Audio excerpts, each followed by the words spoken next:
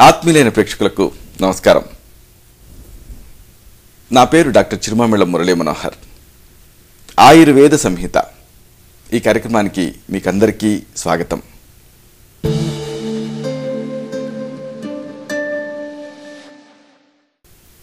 ఈ కార్యక్రమంలో ఒక ముఖ్యమైన విషయాన్ని ప్రాచీన ఆయుర్వేద రహస్యాల్ని తెలుసుకోబోతున్నారు.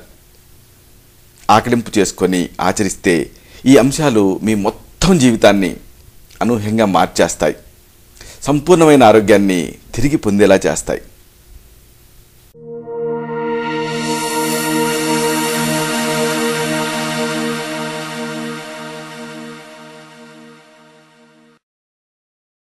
కందిపప్పు గురించి. కందిపప్పులో దాగున్న అద్భుతాల గురించి ఔషధ విలువల గురించి ఈ కార్యక్రమంలో మనం వివరంగా తెలుసుకుందాం. పప్పుతో పది ముద్దలు తింటే పులుసెందుకు బుగ్గిలోక అని సామెత. అన్నంలోకి పప్పుంటే చాలు ఇక ఏ కూర లేకపోయినా పర్వాలేదు అని దీని భావం. కొద్దిగా పైచం చేసేదే అయినప్పటికీ ఆ రోజుల్లోనే కాదు ఈ రోజుల్లో కూడా పప్పు లేకపోతే ఎవరికీ కూడా ముద్ద దిగదు అంటే అందులో ఎంతమాత్రం అతిశయోక్తి లేదు. ఇక విందు భోజనాలు పప్పు లేకుండా జరగనే జరగవు. మరి పప్పు లేని పెళ్ళి ఉప్పు లేని కూర ఇలాంటి సామెతలు కూడా ఉన్నాయి కదా. పెద్దలు ఊరికే అనలేదు వీటిని. అలాగే పండక్కి పప్పన్నానికి ఎప్పటి నుంచో సంబంధం ఉండనే ఉంది. వేమన కూడా పప్పు లేని కూడు పాడుకోడు అన్నాడు. కూరల్లో ముందు మనకి వడ్డించేది. మనం తినేందుకు ముందుగా అన్నంలో కలుపుకునేది ఏమిటి? పప్పే. చాలా రకాల పప్పు దినుసుల్లో మనం ఎక్కువగా వాడేది కందిపప్పు. కొంతమంది పెసరపప్పు వాడతారు. అలాగే చాలా కొద్దిమంది శనగపప్పు వాడతారు. వీటిని కూరగా వండుకుంటాం. చాలా చాలా కొద్ది మంది మాత్రమే కేసరి దాల్ మసూర్ దాల్ ఇలా వాడుకుంటూ ఉంటారు. ఇంకా చాలా అరుదుగా ఉలవల్ని అలసందల్ని పప్పు కూర కింద వాడుకుంటూ ఉంటారు. కాబట్టి ఈ పప్పుల్ని కూర చారు సాంబారు ఇలాంటి వాటిని చేసుకునేందుకు ఉపయోగిస్తూ ఉంటారు. వీటిలో ఓం ప్రథమం ఏమిటి అంటే కందిపప్పే. కూరగా వాడుకునేటటువంటి పప్పుల్లో కందిపప్పుదే అగ్రస్థానం. భోజన ప్రియులు వేయించి పొట్టు ఒలిచిన కందిపప్పుతో వండినటువంటి ముద్దపప్పులో బాగా ధారాళంగా నెయ్యి కలుపుకొని మరీ తినేవాళ్ళని. అలాగా కృత సూప సమన్వితమైనటువంటి భోజనంపైనే వాళ్ళు ఎక్కువగా మక్కువ చూపేవాళ్ళని మన ప్రాచీన సాహిత్యంలో చాలా ప్రస్తావనలు ఉన్నాయి సూప అనే సంస్కృత పదానికి సూప్ పప్పుచారు ఇలాంటి అర్థాలతో పాటు వండిన పల్చటి పప్పు అనే అర్థం కూడా ఉంది. రకరకాల ఆకుకూరలు దోస మామిడి టమాటో బీర సొర ఇలాంటి కూరగాయల్ని కందిపప్పులో వేసి అనువుగా చేసేటటువంటి పప్పులు ఆకుకూరలతో కలిపి చేసేటటువంటి కందిపప్పు పొడి కూరలు సాంబారు దప్పడం వార్చిన పప్పు నీళ్ళతో కాచుకునేటటువంటి చారు ఇవన్నీ మనందరికీ కూడా చాలా చాలా ఇష్టం. వేయించిన కందిపప్పులో పెద్ద ఉల్లిపాయని దట్టించి చేసేటటువంటి రోటి పచ్చడి ఎవరికైనా సరే నోరూరుతుంది. భోజనారంభంలో ఘుమఘుమలాడేటువంటి కందిపొడిని తాజా నెయ్యితో కలుపుకొని తినేందుకు ఇష్టపడని వాళ్ళు మనలో ఎవరైనా ఉంటారా? అలాగా తెలుగు వాళ్ళ ఆహారాల్లో అగ్రగణ్యం అని చెప్పదగినటువంటి ఈ కంది గురించి దీని విశేషాల గురించి మనం తెలుసుకుందాం. ముందుగా చెప్పుకోవాల్సింది పేరు గురించి. కందిని సంస్కృతంలో ఆఢకి అని తువరి అని అంటారు. తువరి అని ఎందుకంటారంటే తోవరి తువరి అనేది ఒక మన్ను. తోవరి మన్ను అంటారు.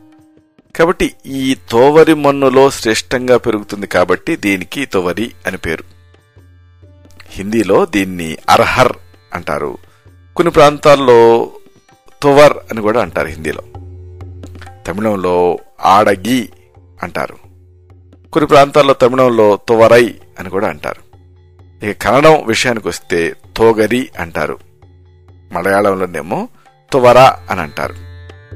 మరాఠీలో తూర్ అని అంటారు. ఇంగ్లీష్లో కందిని రెడ్ గ్రామ్ అని పీజియన్ పి అని కాంగో పి అని అంటారు. ఫ్యాబేసీ కుటుంబానికి చెందినటువంటి కంది మొక్క శాస్త్రీయ నామం ఖజానస్ ఖజాన్. మనం చిన్నప్పుడు చదువుకున్నాం. కేజాన్ కజేనస్ అనే శబ్దాలు కంది స్థానిక పేరుకి లాటిన్ రూపాంతరాలు. బహుశా ఇవి కడ్జాన్ అనే కాంగోలీజ్ భాషా శబ్దం నుంచి ఏర్పడి ఉండొచ్చు. కంది భారతదేశపు మొక్కే అయి ఉండేటటువంటి అవకాశం ఉంది అని నమ్ముతూ కొంతమంది శాస్త్రజ్ఞులు దీన్ని ఖజానస్ ఇండికస్ అనే మరొక శాస్త్రీయ నామంతో కూడా పిలుస్తున్నారు. కంది భారతదేశం అంతా కూడా సాగు చేయబడుతుంది. నిటారుగా ఐదు నుంచి పది అడుగుల ఎత్తు వరకు పెరిగే కంది మొక్క కాండం చాలా కొమ్మలు రెమ్మలుగా చీలి మెత్తటి నూగుతో కప్పబడి ఉంటుంది. మనకి ఈ వ్యవసాయదారుల కుటుంబాల్లో అయితే ఇది అందరికీ అనుభవమే. ఇది దీన్ని అందరూ చూసే ఉంటారు. ప్రతి ఆకు కూడా బల్లెం ఆకారంలో ఉండేటటువంటి మూడు మెత్తటి చిన్న ఆకులుగా చీలుంటుంది. ఆకుల అడుగు భాగంలో నూగెక్కువగా ఉంటుంది. దక్షిణ భారతదేశంలో తువర్ అని పిలిచేటటువంటి కంది మొక్క కాండం లేత చిగుళ్ళకు పసుపచ్చటి పూలు గుత్తులు గుత్తులుగా పూస్తూ ఉంటాయి.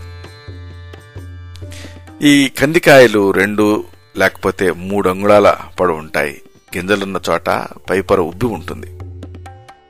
గింజలు పసుపచ్చ ఎరుపు నలుపు గోధుమ రంగులలో చాలా రకరకాలుగా ఉంటాయి. ఉత్తర భారతదేశంలో అర్హర్ పేరుతో పిలిచేటటువంటి కంది మొక్కలు మరికొంచెం పెద్దగా పెరుగుతాయి. వాటి పూరేకులు పసుపు రంగులో ఉండి వాటిపైన రక్తవర్ణపు చారికలుంటాయి. వాటి కాయలు కొంచెం పెద్దగా నూగుతో కప్పబడి ఉంటాయి. దక్షిణాదిన సాగేటటువంటి తువర్ రకం కందిలో ప్రతి కాయలో కూడా మూడు గింజలుంటే ఉత్తర దేశంలో సాగేటటువంటి కందికాయలో నాలుగు గాని లేకపోతే ఐదు గాని గింజలుంటాయి. మన ప్రాంతంలో ఎరుపు రంగు కందులు ఎక్కువగా సాగు చేస్తుంటాం. కేరళలోనేమో పసుపచ్చటి కందుల్ని ఎక్కువగా పండిస్తారు. సరే మరి ఈ కంది అసలు ఎక్కడి నుంచి వచ్చింది? అంటే దీని పుట్టుపూర్వోత్తరాలు ఏమిటి దీన్ని కూడా మనం తెలుసుకోవటం అవసరం. క్రీస్తు పూర్వం నాలుగు వందల సంవత్సరాల ప్రాచీన బౌద్ధ సాహిత్యంలో కందుల్ని ఆఢకి అని ప్రస్తావించడం జరిగింది. క్రీస్తు పూర్వం వంద నుంచి క్రీస్తు శకం వంద సంవత్సరాల మధ్యకాలపు రచనగా భావిస్తున్న చరక సంహితలో చరకుడు కందుల్ని తువరిక అని పేర్కొన్నాడు. అయితే క్రీస్తు పూర్వం రెండు వందల నుంచి క్రీస్తు శకం మూడు వందల సంవత్సరాల మధ్యకాలానికి సంబంధించింది అని చాలామంది భావిస్తున్న ప్రాచీన తమిళ సంఘం సాహిత్యంలో మాత్రం కంది తాలూకు ప్రస్తావనే లేకపోవటం ఆశ్చర్యాన్ని కలిగించేటటువంటి విషయం. క్రీస్తు శకం పన్నెండవ శతాబ్దానికి చెందిన మధ్య భారతదేశపు మానసోల్లాస అనే గ్రంథం ఐదు పప్పు ధాన్యాలతో చేసే విదళపాక అనే ఒక వంటకాన్ని పేర్కొంది. ఆ ఐదింటిలో వేయించిన కందిపప్పు అనేది ఒకటి. పశ్చిమ సముద్ర తీర ప్రాంతానికి చెందినటువంటి క్రీస్తు శకం పదిహేడు వందల ప్రాంతపు రచనగా భావిస్తున్న శివతత్వ రత్నాకర అనే గ్రంథం కృష్ణాడకి అంటే నల్లకందులు అనే పప్పుధాన్యాన్ని పేర్కొంది. క్రీస్తు శకం పదహారు వందల నలభై ఎనిమిది ప్రాంతాల వాడైనటువంటి గోవింద వైద్య అనే వైద్యుడు తన గ్రంథంలో కందిపప్పుతో కూరగాయలతో చేసేటటువంటి నేటి కాలపు సాంబార్ లాంటి వంటకాన్ని పేర్కొన్నాడు. కంది కందుల కంది మళ్ళ ఇలాంటి మన తెలుగు వాళ్ళ ఇండ్ల పేర్లు. కందికట్ల కందులపాడు ఇలాంటి మన ప్రాంతపు గ్రామాల పేర్లు. కంది మొక్కకి మన తెలుగు నేలకి మధ్య ఉండేటటువంటి అనుబంధం అలాగే ప్రాచీనతని మనకి తెలియజేస్తూ ఉంటాయి. ఇలాంటి అనేక కారణాల రీత్యా చాలామంది శాస్త్రవేత్తలు కంది భారతదేశపు మొక్కే అయి ఉండొచ్చు అని భావిస్తూ దానికి ఖజానస్ ఇండికస్ అనే శాస్త్రీయ నామాన్ని ధృవపరిచారు అయితే భారత ఉపఖండంలో ఎక్కడ కూడా కంది మొక్కకు మూలమైనటువంటి అటవీ మొక్క మనకి కనిపించదు. ఎక్కడ చూసినా సాగులో ఉన్నటువంటి కంది రకాలే కనిపిస్తాయి. మరోవైపు దక్షిణ ఖండపు తూర్పు తీరంలో ఉండేటటువంటి జాంజీవార్ టాంజానియా దేశాలు మరికొన్ని పశ్చిమ ఆఫ్రికా తీర దేశాలైనటువంటి గినీ సెనేగల్ వరకు ఆఫ్రికా ఖండం అంతటా కూడా ఉండేటటువంటి అడవుల్లో కంది మొక్కలు బాగా విస్తారంగా కనిపిస్తున్నాయి. అంతేకాదు క్రీస్తు పూర్వం రెండు వేల రెండు వందల సంవత్సరాల నాటి ప్రాచీన ఈజిప్షియన్ సమాధుల్లో కూడా కందులు బయటపడ్డాయి. కందికి ఆఫ్రికా దేశమైనటువంటి కాంగో పేరిట కాంగో పి అనే పేరుంటం కూడా మనం ఆలోచించాల్సిన విషయం. కాబట్టి ఈ కారణాలన్నింటినీ దృష్టిలో పెట్టుకొని కంది ఆఫ్రికా నుంచే మన దేశానికి వచ్చి ఉండొచ్చు అని శాస్త్రజ్ఞులు తేల్చారు. మరి ఈ కందులు కందిపప్పు మన దేశానికి చెందినవే అని అనుకునే వాళ్ళ తాలూకు అభిప్రాయం ఏంటంటే వాటి మొట్టమొదటి జన్మస్థలం ఆఫ్రికా ఖండం అంటే ఇలాంటి వాళ్ళకి మన మనం ఇది మన దేశానికే చెందింది అని అనుకునే వాళ్ళకి అంతగా రుచించదు.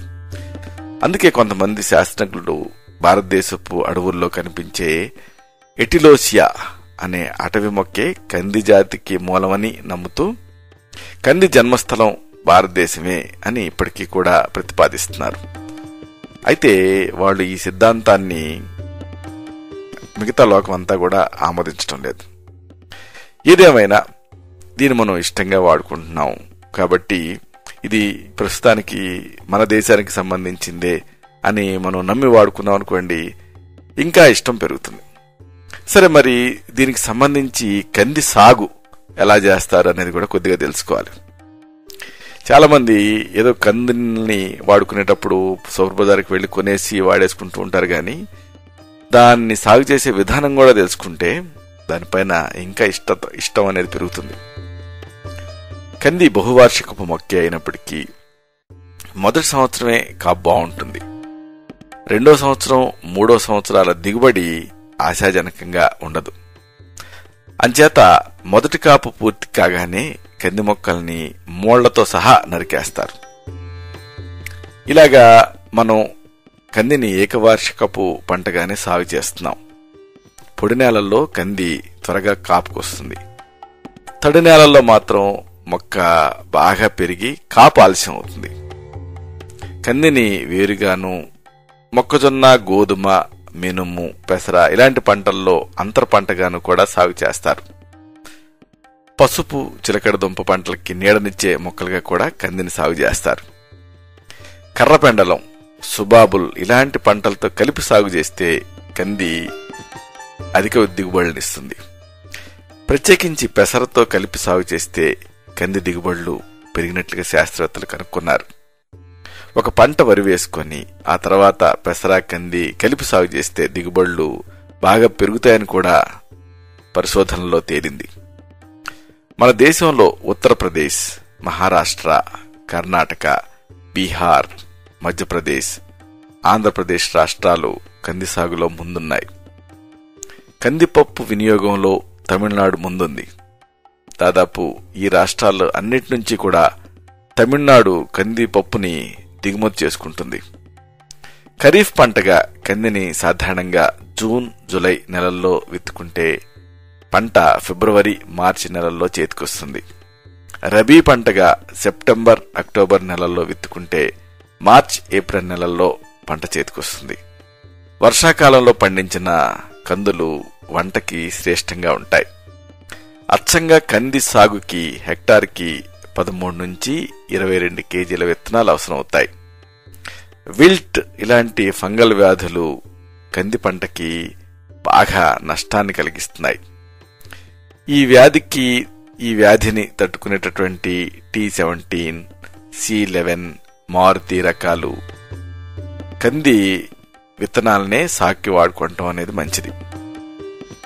ఆకుమచ్చ తెగులు ఎర్రబొచ్చు గొంగళి పురుగులు అలాగే పాడ్ ఫ్లై బగ్స్ ఆరుద్ర పురుగులు అంటే బీటిల్స్ ఇతర చీడపీడల నుంచి సకాలంలో సస్యరక్షణ చర్యలు చేపడితే కంది దిగుబడుల్ని పెంచుకోవచ్చు. పక్షులు ప్రత్యేకించి చిలకలు కంది పంటలకి పది శాతం వరకు నష్టం కలిగిస్తాయి. దిష్టి బొమ్మలు గాలికి శబ్దం చేస్తూ తిరిగేటటువంటి రేకు పంఖాలు వీటిని అమర్చి గాని లేకపోతే ఉండేలు దీంతో రాళ్ళు విసిరి కానీ చిలకల్ని బెదరగొట్టగలిగితే దిగుబడులను పెంచుకోవచ్చు. ఆధునిక సాగు పద్ధతులు సస్యరక్షణ చర్యలు చేపడితే కందుల దిగుబడి హెక్టార్కి రెండు నుంచి రెండున్నర టన్నులు వంట చెరుగ్గా వాడేటటువంటి కందికట్టలు ఐదారు టన్నుల వరకు లభిస్తాయి. సరే ఇప్పుడు అతి ముఖ్యమైన విషయానికి వస్తున్నాం. కందికి అనేక ప్రయోజనాలున్నాయి. ఈ ప్రయోజనాలను తెలుసుకుందాం. కందిలో మాంసకృత్తులు పీచు పదార్థం పిండి పదార్థం phosphorus magnesium sodium potassium sulphur అలాగే ఏ సి ఈ విటమిన్లు ఇవన్నీ కూడా పుష్కలంగా ఉంటాయి.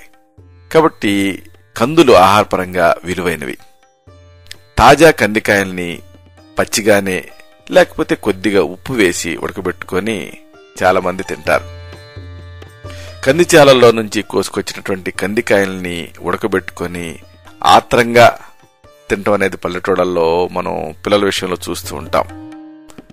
మన శరీరానికి ఎంతో అవసరమైన మాలిబ్డినం రాగి క్రోమియం మ్యాంగనీస్ ఇనుము జింకు కాల్షియం ఇలాంటి ధాతువులు కూడా పుష్కలంగా ఉంటాయి కాబట్టి ఈ కందులు చాలా మంచి ఆహారం. అందుకే కొంతమంది పచ్చి కందికాయలను ఒలిచి ఆ గింజల్ని కూరగా వండుకుంటూ ఉంటారు.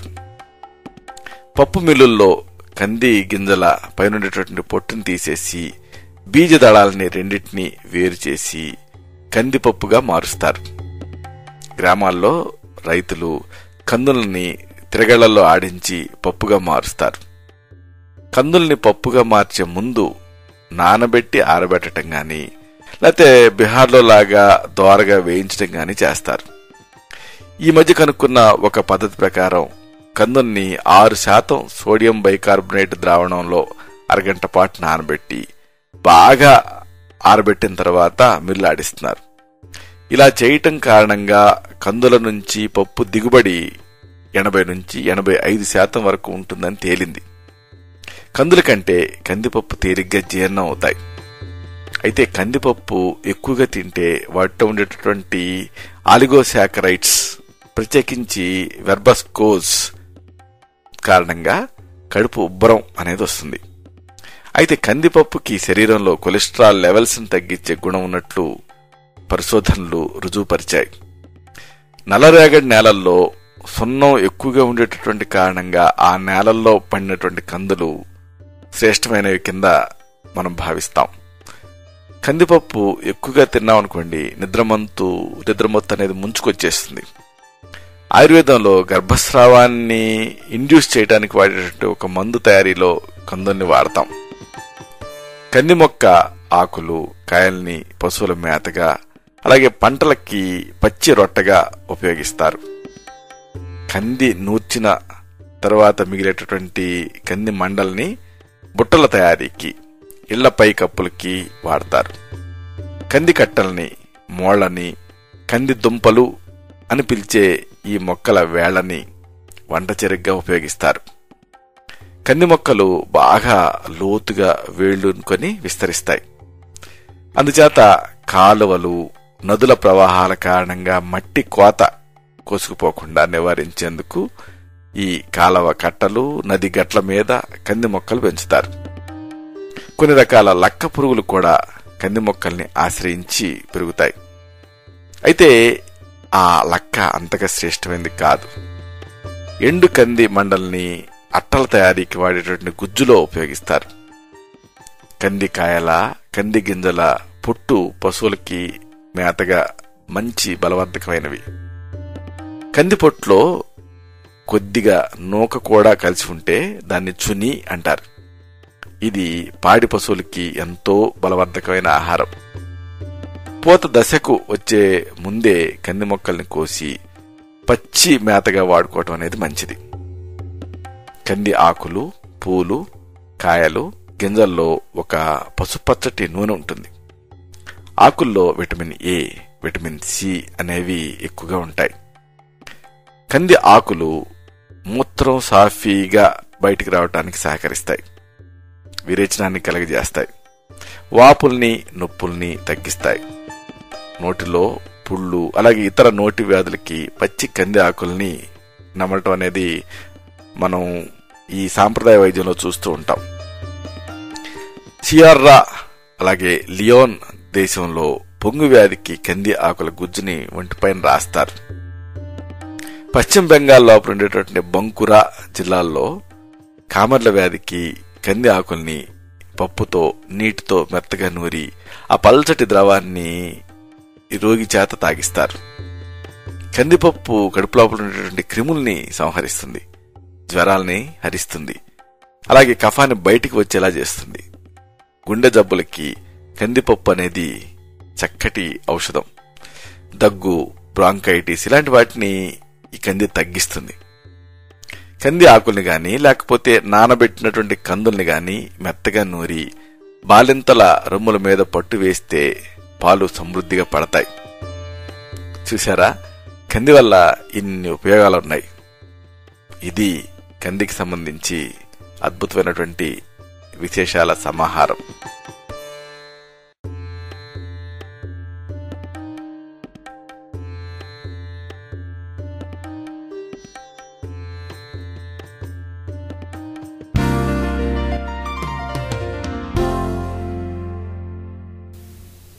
చూశారు కదా? ఇది విషయం. ఈ కార్యక్రమం మీకు ఉపయోగపడిందని ఉపయోగపడుతుందని ఆశిస్తాను. అలాగే ఇందులోని విషయాల మీద మీకు అవగాహన పెరిగిందని భావిస్తాను.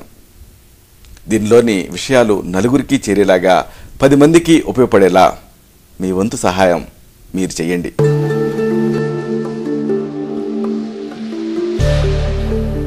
మళ్ళీ ఇదే కార్యక్రమంలో మనం కలుసుకున్నప్పుడు ఇలాంటి మరొక ఆసక్తికరమైన అంశాన్ని తెలుసుకుందాం.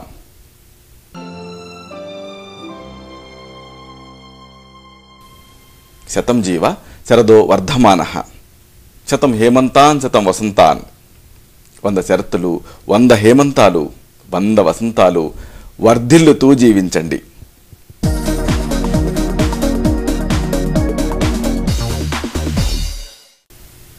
శుభం.